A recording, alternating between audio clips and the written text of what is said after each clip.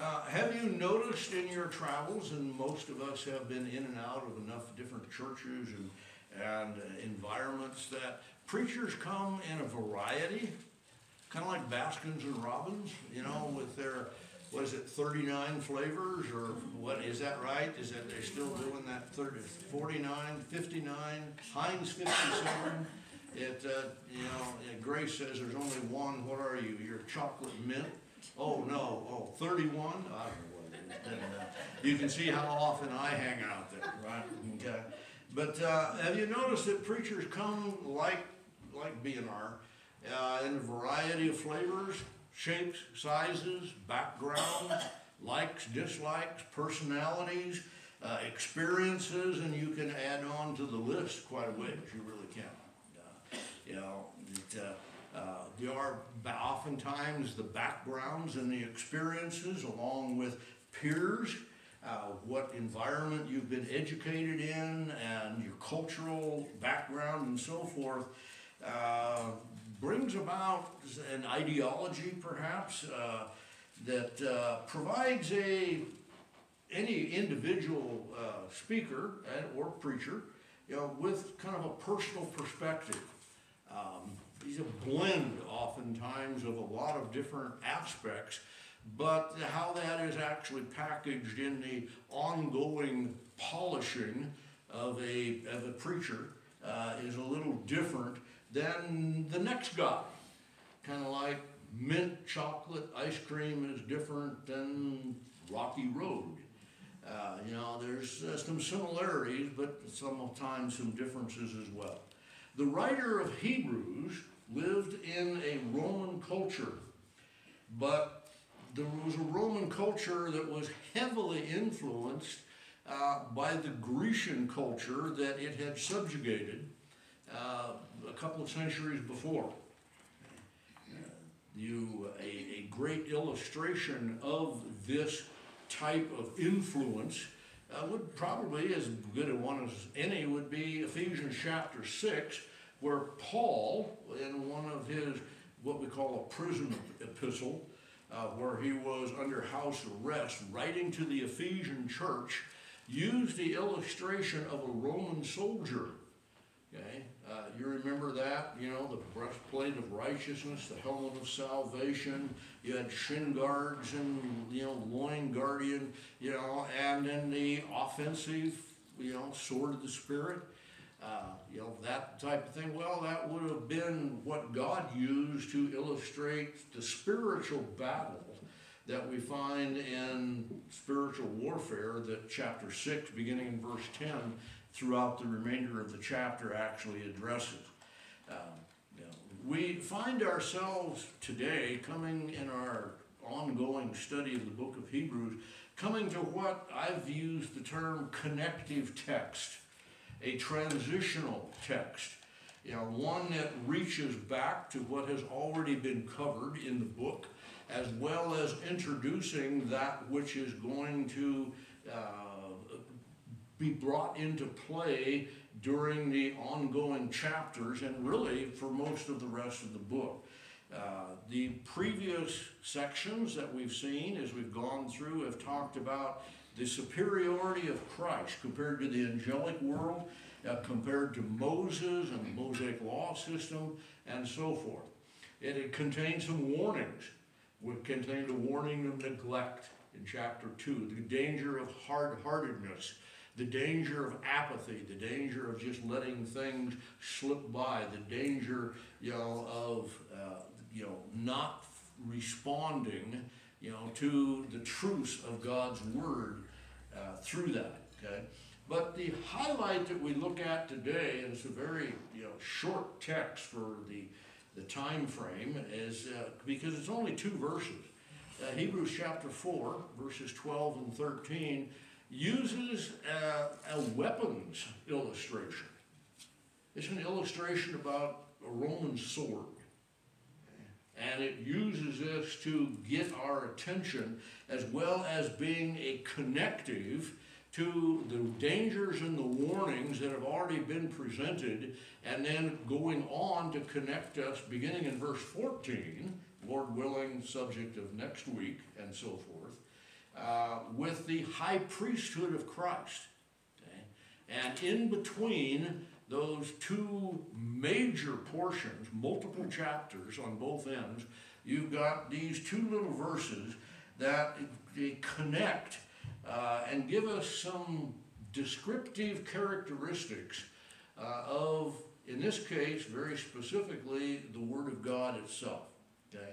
Uh, now, these are in contrast. You know, we're talking about, you, the writer of Hebrews used a physical illustration that came to, God brought to his mind about a sword and how it is utilized in certain situations. We'll talk about as we go through the rest of our time this morning. Uh, but uh, these two verses actually contrast the Word of God against the picture of a physical sword. I'll try to explain that a little bit as I go. Now, we'll just take a moment or, or two here and talk about uh, the types of swords. Uh, many of you may not have really any interest in long, big long knives that impale people uh, one way or another, whether that's in movie life or you know Ali Baba and the Forty Thieves, or maybe you watched Errol Flynn. You know, it. Uh, you know, some of us are almost old enough to admit to watching his daring do from the pirate ships and webbing and all the other stuff that is there. Okay, it. Uh, well, you have scimitars. Now, these are normally Arabian, Mid-Eastern type of thing, long curved blade, normally used from horseback. Uh, you have the cutlass, that's Errol Flynn's baby, you know, it's, the, uh, and there's nuances that I'm not gonna bore you with that all make sense if you understand, you know, how these weapons were utilized and what types of battle against what type of foe, you know, and so forth. Uh, you have the broadsword, that we think of, you know, King Arthur and his knights or around the, you know, you've all read those, right? Camelot and the, the whole thing. Uh, these are great big honkers, you know, I mean, they're, they're five feet, six feet or more in length. Takes a strong guy to pick one up with two hands, you know, let alone use, but they were designed for mounted battle during contests, you know, where you used them, you know, from a horse against uh, primarily uh, unmounted you know, enemy forces.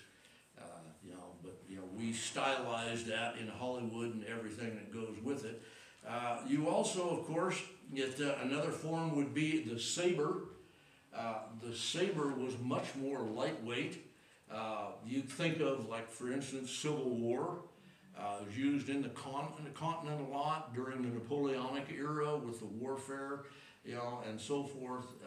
can be very effective still used primarily as ornamental by our armed forces, you know, with the officer corps and so forth that goes with that as well. So there's different types of things there. Now, the thing is, when you go to the book of Hebrews and you flip it open to chapter 4 and you read the following verse, we'll just read these two. He says verse 12, especially for the moment. For the word of God is, King James word is quick, it means alive, living.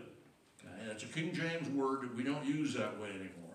That the Word of God is alive and powerful and sharper than any two-edged sword, piercing and dividing asunder of soul and spirit and joints and marrow, and is a discerner of the thoughts and intents of the heart. Okay? Uh, this, uh, you say, okay, so which one of these swords are we talking about? Well, actually, you're talking about none of them. You're talking about one of these. Okay? Uh, this is the working man's blue collar sword during biblical times. And there were different names for them. Uh, this thing is stinking sharp, believe me. Okay, this is a real life, I mean, it's, yeah, you could say it's a replica, it's a modern, but this is a functional sword. And with no effort whatsoever, I could cut an arm right off of any of you. Okay, if you held still, I could decapitate you without even making an effort out of it. On top of that, it's so sharp and it's edged on both sides. You want to be pierced with this thing?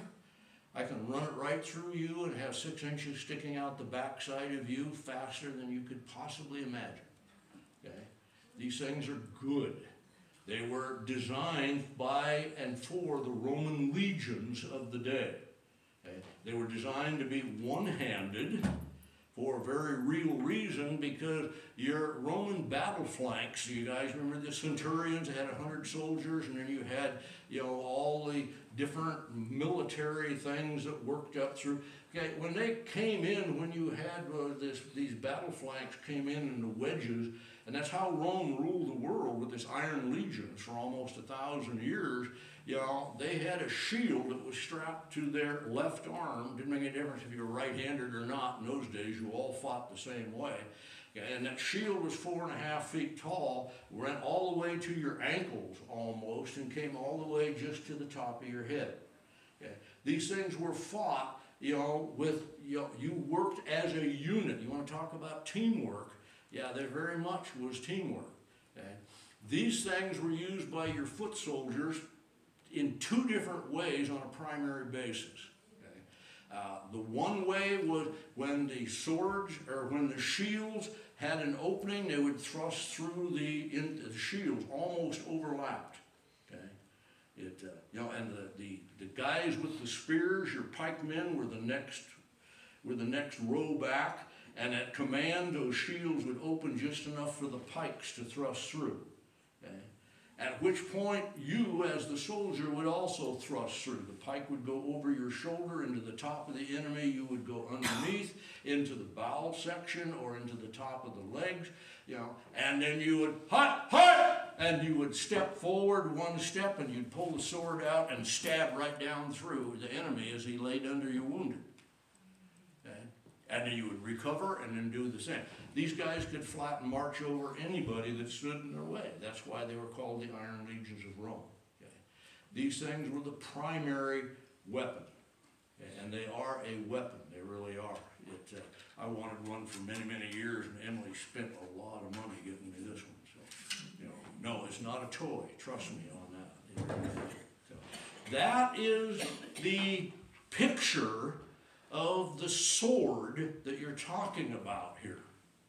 And most of them ran 21 to 24 inches in length, dual edge pointed on the front. You can look them up on the internet. There's a whole gamut of this stuff. Okay, they're, they're, and they were designed for in within that battle flanks, that complex, that tactical format of going at an enemy and conquering him and this is the picture that the writer of Hebrews uses within the culture of the Roman era.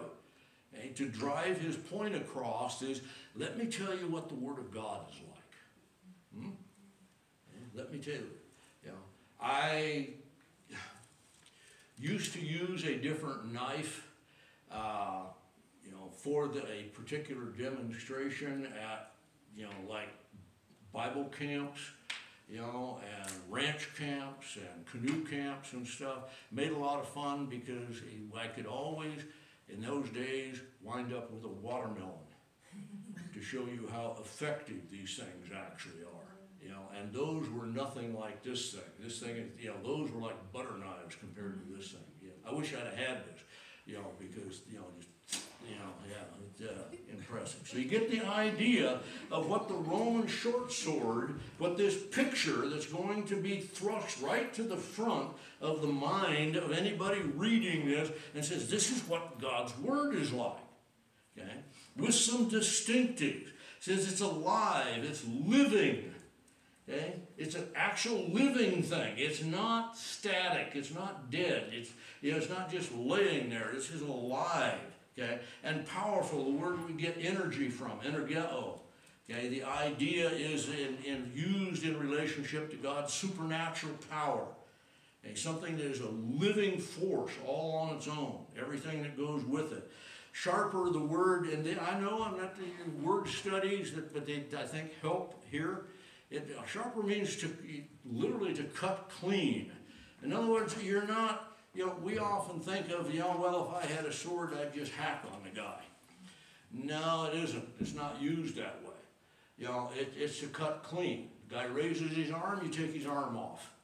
You know, it's just that simple. You know, and then talks about piercing, the dividing of sunder. You know, yeah, we all know about the hot knife into butter. Okay, uh, that's what these things will do. Okay, uh, to an unarmored individual, know, they just slide right through the ribs and right out the back and right back, and they cut going in and out on both sides. Okay? Uh, they are an extremely effective, very intimidating weapon when you go against 10,000 Roman legionaries lined up in battle flanks of hundreds as they interlock and all the shields overlap and you're out there with your Tonka toys, you know, and your dart guns, and you think, this is not going to be a good day. Okay? The Word of God has that kind of power, has that kind of supernatural ability, you know, to pierce sharper. Compared to any, as sharp as this, and this thing will. You want to test it with your thumb? You'll probably lose your thumb. You'd better pay attention. The thing is that sharp. Okay? And the humanly God's word is so much sharper than any human weapon that you can't really compare it. Okay? Yeah, that's what the word of God has the capability. Uh, to penetrate, to divide, uh, divide simply means to cut off, to cut from. Uh, you get the idea. Yeah, it's God's word will penetrate, okay? Then slice into component parts. It'll just whack it to pieces, you know. It, uh, you get the idea. And then it talks about soul and spirit and joints and marrow. Uh, you know, interestingly enough, at least the people in the medical world tell me, joints don't actually have marrow. The bones have the marrow. But the joints themselves are formed differently. At least that's what I've been told.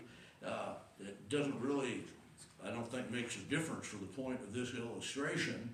Uh, but soul and spirit are two component parts of the human being. You've got, according to 1 Thessalonians 5.23, body, soul, and spirit. You go back to the book of Genesis in chapter 2, and you find that when God created Adam out of the dust, he breathed life into the physical body and he became a living soul. Okay, talk about the component parts. You see, we have a tendency just to see a human being and we think that's, that's it. No, it isn't. You know, the, the soul spirit is also part of the component parts of the makeup of the entirety of the human being. So, what we're talking about here with God's Word is something that penetrates into the innermost parts of a person. It pierces them through and through. And it'll cut going both ways anytime it's wiggled. Okay? That's a technical term for your sword arm. On top of that, it goes on and says it is a discerner. The Greek word, kritikos, uh, it's a discerner of the thoughts and intents of the heart. That discerner word, it's an idea of a blend of discriminatory examination and the decision making judgments that are produced by that examination. Okay? It's a much richer meaning than just discern at a surface level. It's, it's a lot more the nuance than that. There's a lot more impact when we talk about the Word of God being discerning being capable of reaching down inside and examining. It, uh, wow, some stuff. Yeah, we get the word, uh, you probably recognized it, right? It's like critical, critique, criticism, okay? That's where the, all those words in the English language come from, is that Greek word. Okay? Being able to be discerning what the Word of God is being talked about right here in this passage. The thoughts, well, you know, we're not talking about daydreams, are we? Yeah, not at all. We're talking about the deliberation that you utilize when considering an issue. Should I this? Should I that? Up or down? Left or right? You know, uh, you know good or bad? Pursue, run away from whatever it happens to be, you are dealing with making a discernment because using the thought process. Now, intent, you might think, why did, why did God include the word intent? Because the intents of the heart speaks of the morality.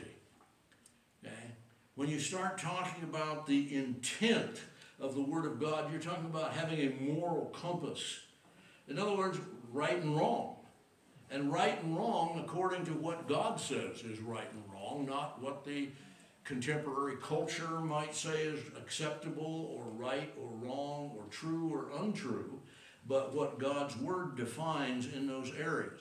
And I would point out to you a little two letter word that we utilize in the English language. It says the Word of God is. Now, I don't want to bore you with English grammar, but is does not mean was. Is does not mean could be. Is means right now, present continuing tense. This is what is happening. If it was, then it happened previously. If it could happen, that means it might happen in the future. But it says the Word of God is alive and powerful and sharper than any two-edged sword. Not could be, should be, might be, sometimes is, and on the third Tuesday of the month, you know, it might apply. No, no, no. This is a full-time, ongoing, operative situation when it comes to the Word of God and what it does, its power and everything that goes with it. It, uh, you know, which implies, at least, because there is no limiter put on this, it implies that it's going to keep right on being is. It never becomes was, it always is, which means, an implication, it's eternal. It's unchanged, unchanging. Uh, it's incorruptible. It's immortal. Okay? The Word of God is going to continue to exist and continue to do and be what these characteristics indicate forever. Okay? Uh, so it's not you're not going to have to worry about next week or next year there's going to be a different standard or that God's word is going to change or you're going to have to adapt to some different theological thinking. Not at all. The Word of God remains the Word of God. It, uh, give you a couple of examples. Both happen to be from the, the Apostle Peter. In 1 Peter 1.23, he says concerning believers being born again, not of corruptible seed, but of incorruptible, by the word of God, which lives and abides forever. Lives and abides forever. Okay? In 2 Peter, he started the epistle this way. According as God's divine power has given to us all things pertaining to life and godliness, through the knowledge of him that has called us to glory and virtue whereby are given to us exceedingly great and precious promises, that by these you might be partakers of the divine nature. And the passage goes on. Through the knowledge of Him. Where do we get that knowledge? Right here. Okay.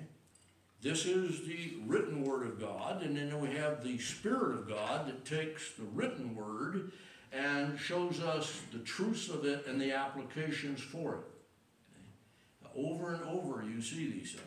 So what you have when you, you know, pull out one of these things that is illustrated by the sword of the Spirit, is you have God making the declaration that my word will penetrate the spiritual being while sifting through, analyzing the thoughts and motives, even the very morality of your life, okay, while providing the truths of God as your yardstick for comparison. Got that? See, so it's not just poking somebody with two feet of steel and ruining their lunch.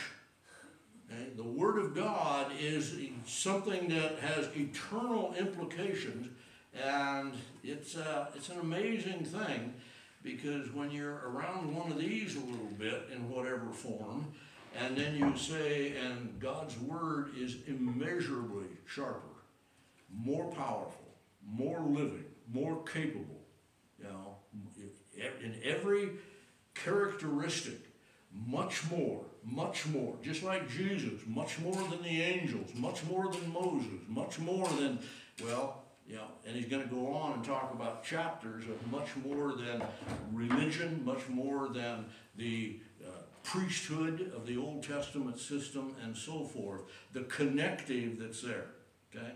Jesus put it this way in John chapter 6. Many, and he's done some miracles and then done some teaching, and most of his followers had kind of gone, wow, that's pretty heavy stuff. That's some serious. We're not sure we're comfortable with that, and you know, they went out for pizza. Uh, they left, whatever they did.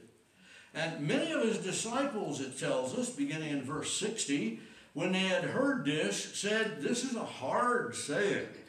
Who can understand it?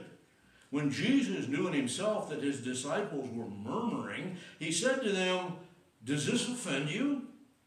And when you see the Son of Man ascending up where he came from before, You think you're offended now by my teaching? You just wait until I get resurrected and am caught up in the clouds. He said, Boy, that's going to get your attention. What are you going to do with that? If my teaching impacts your life, how about death, burial, and resurrection? How are you going to cope? You better get a grip on some of this stuff. That's what he said. If you will see the Son of Man ascend, it is the Spirit that brings life. Quickeneth. There's that word, that quick word again. The flesh profits nothing, the, ready for it? The words that I speak to you, they are spirit and they are life. Jesus had a really high value system when it came to God's Word. You remember what John 12 said? Jesus said, I'm not telling you my point of view. My Father is telling me what to say, and I'm saying it. So when you hear me, you're hearing the Father. If you refuse to hear me, you're refusing to hear the Father. And that's what's going to judge people right there in that high priestly prayer in the Garden of Gethsemane. Remember that great uh, prayer when he knelt and, and, you know, before he was seized and taken to the cross? And he said about his disciples, after talking about the spiritual warfare, you know, protect them from the evil one, keep them from the spiritual warfare, the harmful effects of evil and unrighteousness. He said, Sanctify them through thy truth. Thy word is truth. Sanctify, the hagios word, it means to make holy, set them apart for, to honor God in his holiness. How is that done? Well, through truth. You can't honor God through falsehood, through lies. God's only honored when his children live in truth. How are we to know which choice to make, which path to walk? The Word is truth clear back in David's time. He said, How will a young man know his way? Thy word is a lamp unto my, unto my feet and a light unto my path. It hasn't changed. God's word has always been the stellar yardstick that we need to measure our own choices and actions up against. See, that's the idea. So the question arises why don't people read, study, insert whatever adjective there. Why don't people read God's Word? Hmm? We read everything else. Okay? Okay? You want conviction? How much time do you spend staring into your smartphone compared to staring into your Bible? Ouch. Yeah. Or magazines or the silliness of YouTube you know, or whatever happens to me. Now compare that. Just I don't want to. Yeah, I, I don't want. This is not true confessions. I don't want anybody crying on the floor here or anything. You know, but just stop and ask yourself, how much time do I spend in that other stuff? You know, now you. I've had people tell me uh, throughout my many years of ministry, and I've been guilty of claiming the same thing. I just don't have time to read my Bible. My goodness the time I waste with my face in a computer. Eh? You really don't think you're going to get spirituality and godliness, you know, out of watching TikTok videos, do you? I mean, there may be a place for watching videos to learn how to do stuff and for pure entertainment, but please don't tell me you don't have time. You know, I try that on myself at times. I go, and I tell God, you know, I just didn't have time to read the Bible. And He reminds me of how much time I dinked around with my head, head in a smartphone. You know, kind of convicting when you think about it, isn't it? But don't take my word for it. You know, go back to Isaiah chapter 55. Okay, those of you that are uh, associated with the deacon or deacons, the Gideons will recognize this one, right? It, uh, the, don't have time, of course, to do the whole chapter, but start with me in the, the famous part, verse 8 of Isaiah 55. God writes, My thoughts are not your thoughts, neither are your ways my ways, saith the Lord. As the heavens are higher than the earth, so are my ways higher than your ways, and my thoughts than your, your thoughts. As the rain comes down, the snow from heaven returns the, to it and waters the earth and makes it bring forth fruit and, and bud. He said, that it may give seed to the sower and bread to the eater, so shall my word be that goes forth out of my mouth. It will not return to me void, but it shall accomplish that which I please and will prosper in the thing whereunto I sent it. God's word is living and powerful and sharper than any two-edged sword. Okay? Uh, it's quiet. It's uh, you know, there's a couple of different reasons. Number one, we seldom really keep keep a hold of this. We're in a spiritual war. And Satan is going to do everything he possibly can to keep you away from the weapons, you know, and the armor that will protect you in that battle and give you an opportunity to fight back.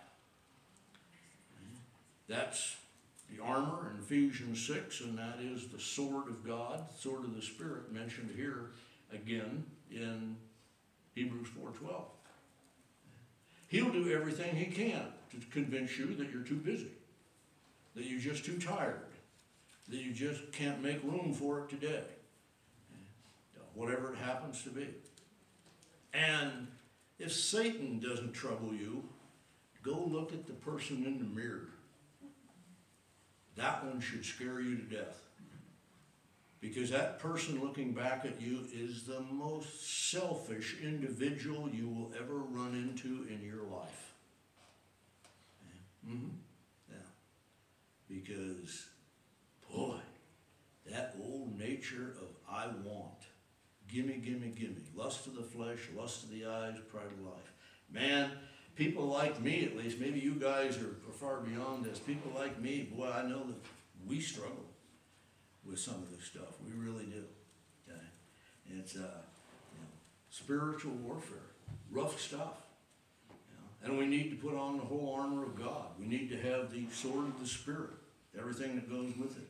Well, in Ephesians chapter 4, the companion verse uh, here in verse 13 puts it this way after describing the Word of God and its active supernatural abilities you know, and everything that goes with it.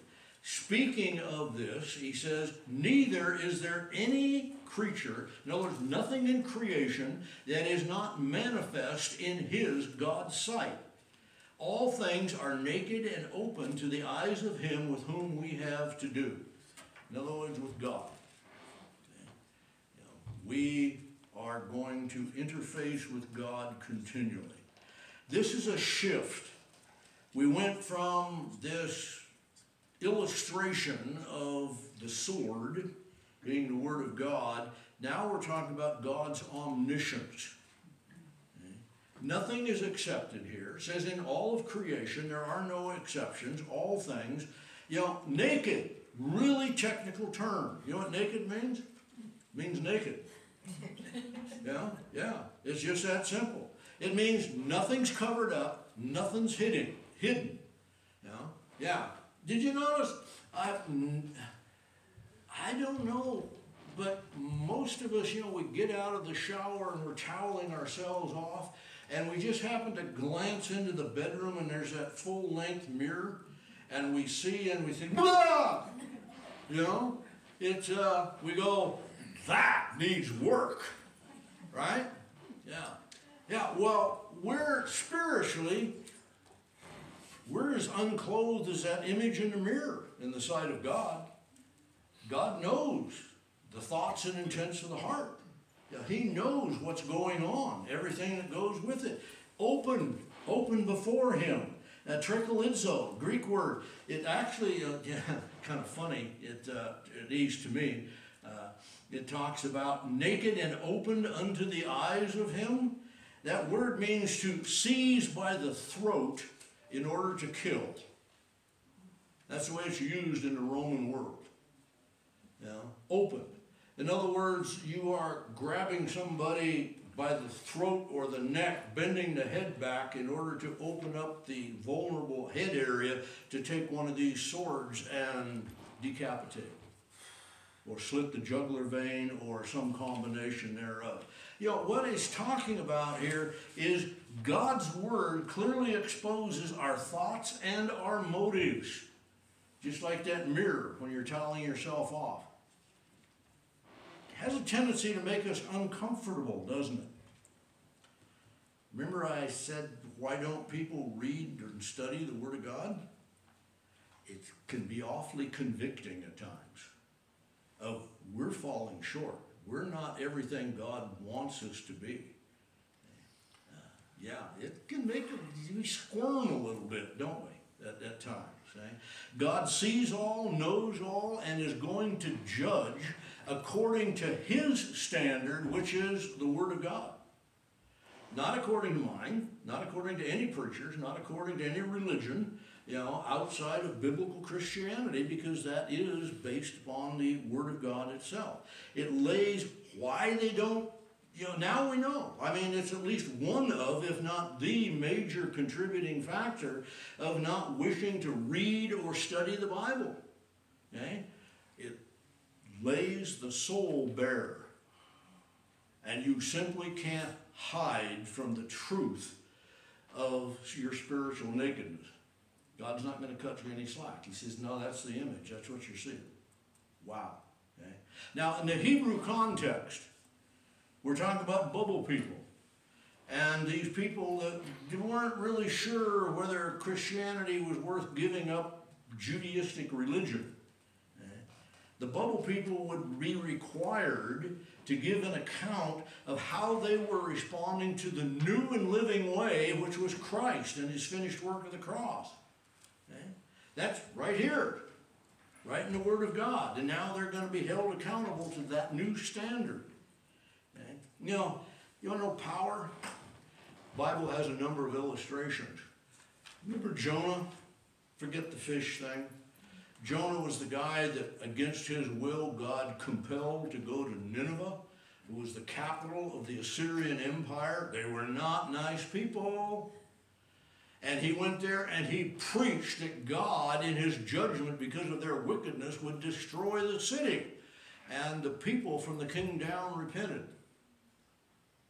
An entire city, hundreds of thousands, oh yeah, I know, you can quibble over every little guy everywhere. That's not the point. The city, as a city, repented in sackcloth and ashes, ashes and God spared the judgment. Why? Because God's truth was preached to them. And the Word of God has that kind of power. And I had a lady, I'm not picking on the gals here, a lady about a thousand years ago, give or take a couple of centuries, that told me, you know what your problem is, Roger? You use too much scripture. And I said, would you run that by me again? You know? So you use too much scripture. People don't want to hear all of that scripture stuff. You know, they want just a little bit and then for you to, to talk about it for a while. I said, why would they want to listen to me? When you've got God talking, why not listen to God? You know, I mean, I thought, well, okay, uh, but, you know, I thought about that seriously for at least a quarter of a second before I rejected it completely, you know, and ta-da, here I am. No, never. mind. You gotta get the idea. Romans ten seventeen says faith comes by hearing and hearing by the word of God. Now we use that to, so if you want to condense it, faith comes through the hearing of God's word. Now, we often use that evangelistically, right? Share the gospel with somebody. They need to believe in the truth of God's word. They need to hear that. How can they hear if a preacher doesn't go and so forth? Uh, the whole passage in, in Romans 10. But while that's very true and it's a fantastic evangelism verse, please pay attention to the fact that your faith is not designed to be a stagnant commodity. You're saved by grace through faith, but your faith is what continues to energize, that's that energeto of the Word of God, so that you can then serve and honor the Savior that did save you. In other words, you don't stop with a dose of faith and that's good enough. You remember what they used to tell you with polio shots? Get a polio shot, you know, and your arm falls off. You know, and one will do you for the rest of your life. That's not the way faith operates. Faith saves you and says, now that's the first step. That's the saving step, is the salvation. Now go live in faith and in grace, day by day, step by step for the rest of your life. How do we know where the path should go? Ta-da! Again and again and again, right? Just like Peter, stuck record. Uh, you younger people don't know what I'm talking about, but anyway, yeah, some of you do. Yeah, yeah, yeah don't you? Yeah, let me see out here. Uh, yeah, I think most of you probably at least have seen records in your parents' old closet someplace. and, uh, yeah, anyway, gotta get the idea. So, evangelism, yes, we are to, Peter says, to grow in grace and in the knowledge of our Savior, Jesus Christ. Faith and grace are something that just didn't occur once at the moment of our salvation. They're designed to, you know, be part of our lives and to guide and direct us as well. Okay? You know what that takes? It takes supernatural enablement. It takes a living commodity. It takes the supernatural energy that only God's Word is guaranteed to have when utilized by the Spirit of God. Now, you can blunder through your Christian life trying to do it in your own strength. And you're going to get awfully beat up if you do. Okay? Because no human strength is going to be able to cope with the warfare that the wiles of Satan, who is the God of this age and of this world, is going to bring against you. Watch out. Now, put on the whole armor of God and then pick up that sword. Learn to utilize it correctly. Okay? It, uh, it's your primary offensive weapon. Okay? Uh, don't, don't make the mistake. The Word of God does change lives. Changes people from one eternal destiny to another, and it also changes the path and the steps of our lives as we journey along, you know, with our Christian life. Father, thank you as we do come before you, praising you for your watch care, your love. Uh, Lord, you're providing the power, the living energy of something that is supernatural. And forgive us, Father, even as you convict us and encourage us uh, to be better students of your word, uh, to read and grow in the knowledge of who you are, what you've done, what the capabilities are, and how to protect ourselves against the enemy, even how to protect ourselves against us. Uh, Lord, thank you for the privilege of knowing that and that you love us that much. In Christ's name, amen. Steve?